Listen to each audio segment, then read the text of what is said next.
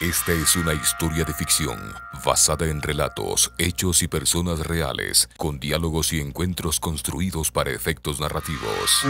La Prefectura de Pichincha, impulsando la creatividad, conmoviendo la imaginación y rescatando la historia de nuestra provincia, presenta de la campaña Pichincha Bicentenaria. El portal 1795. La rebelión de los sueños. En el capítulo anterior.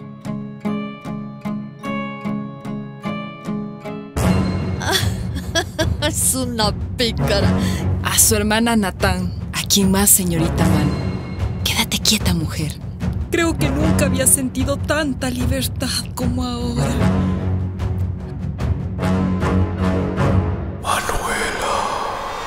Tercera temporada. Capítulo 12. Yo, señorita Manu, salvé la vida de Bolívar. Yo se lo advertí mucho antes de que ocurriera. Todas las señales estaban a la vista. No había un solo lugar de Bogotá en donde sentirse a salvo. Parecía que cualquier palabra de más nos traicionaría. Ay, mi señor. No debería. No debería recordar esas cosas. Le sienta mal. Espera, Jonatas. La señorita Manu quiere saberlo. Y yo necesito dar mi testimonio de lo que pasó. Continúe, señora. Si se lo prometí, lo cumpliré. Manu anotaba cada una de las palabras de Manuela Sáenz. Era la encargada de escribir los diarios que contenían el sueño de formar una gran nación. Hace poco habían terminado la cena preparada por Jonatás y ellas parecían ser las únicas personas despiertas en aquel puerto de Paita. Mire, aquí está una señal de lo que estaba por venir. Esta carta. Esta carta me la hizo llegar Bolívar a mi despacho.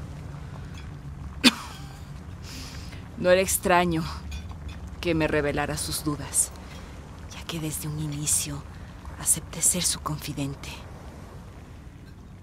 El libertador se encontraba en una encrucijada y cualquier camino era una derrota.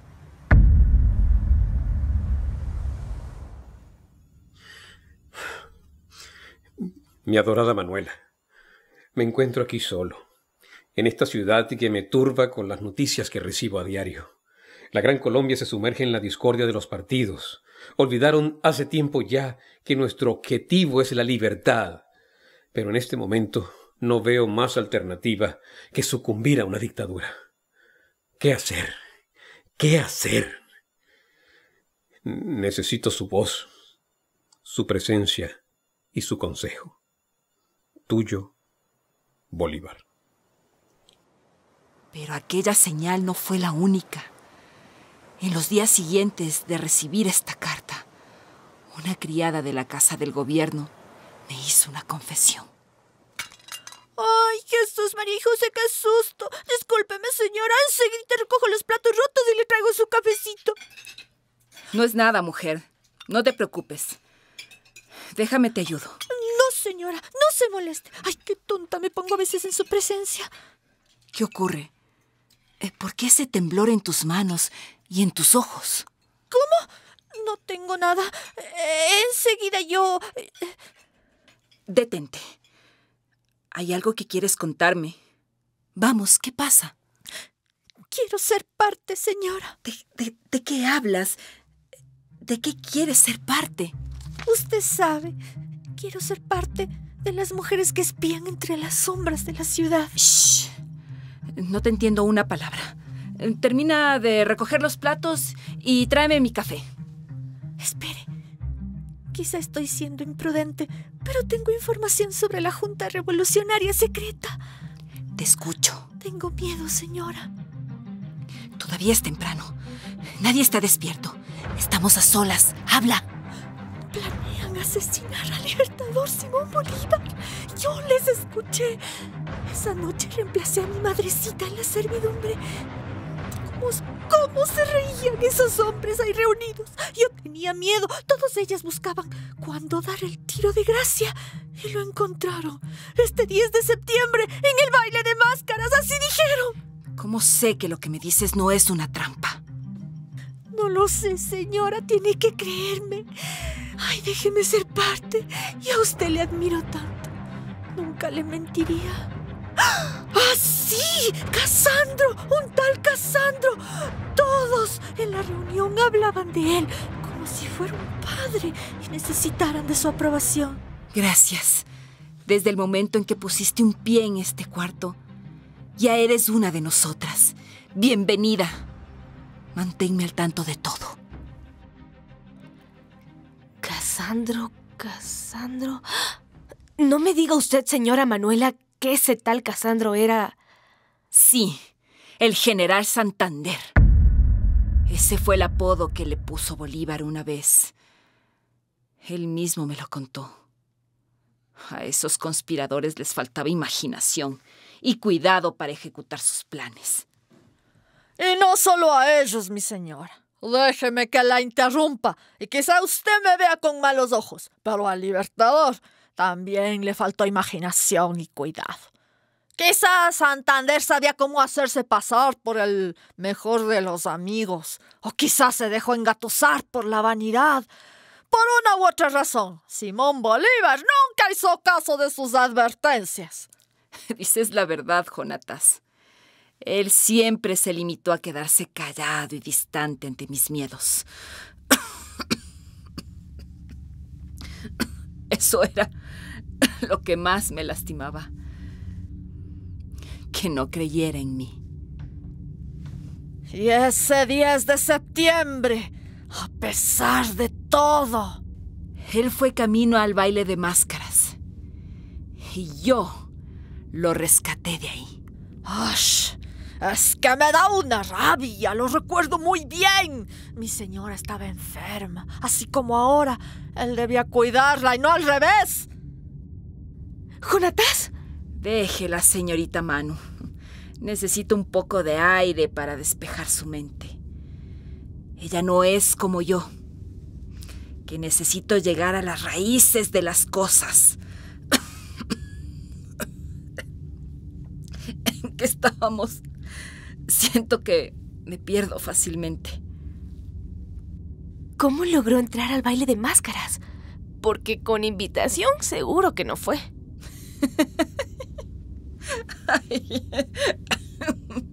Ni estando loco Santander me invitaba.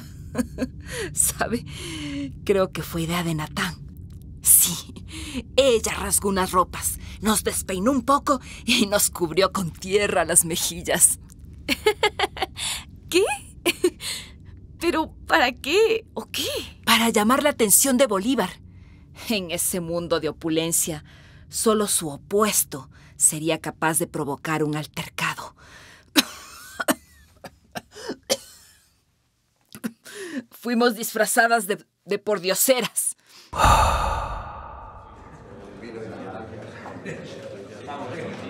Y con ustedes, el hombre sin el cual nada sería posible, su excelencia, el libertador Simón Bolívar. Gracias.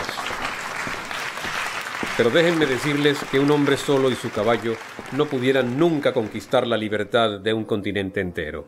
Detrás de mis espaldas cuento con los mejores soldados y las más leales de las amistades. ¿No es así, General Santander? Así es, Libertador.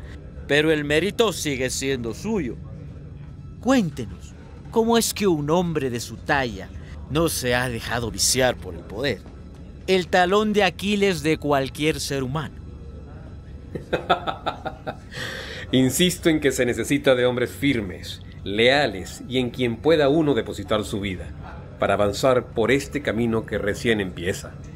Salud, mi general. Por la Gran Colombia.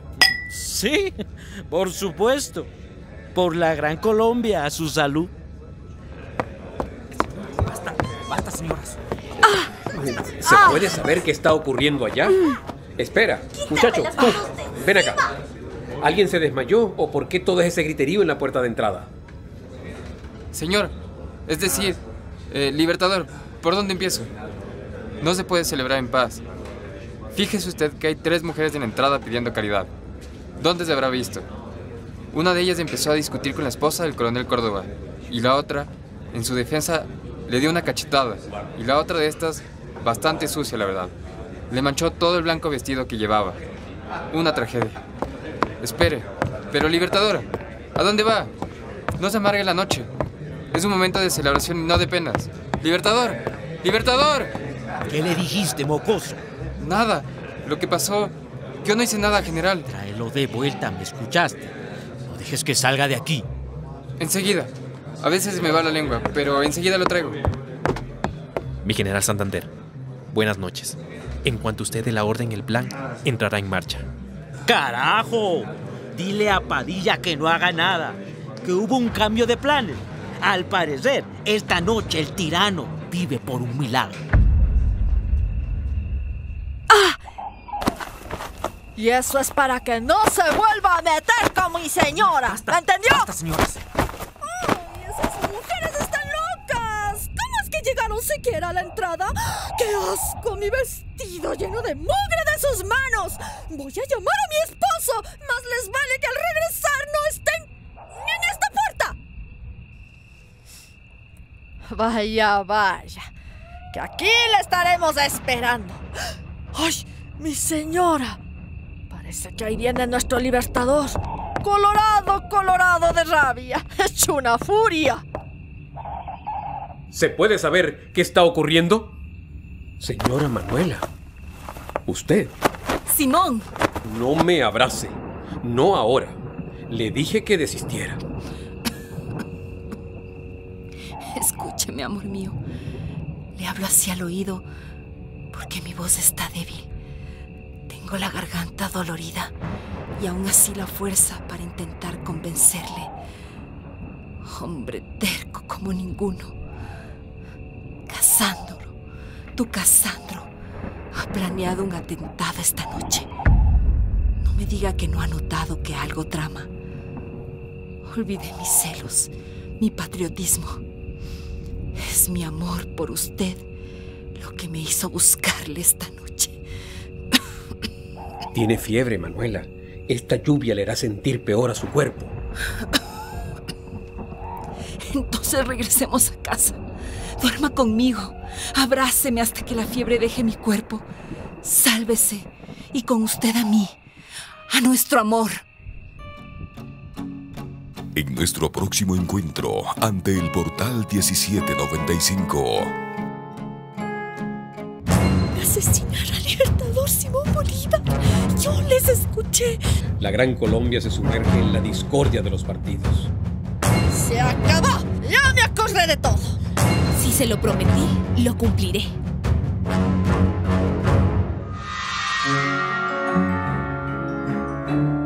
La prefectura de Pichincha, impulsando la creatividad, conmoviendo la imaginación y rescatando la historia de nuestra provincia, presentó el portal 1795, la rebelión de los sueños.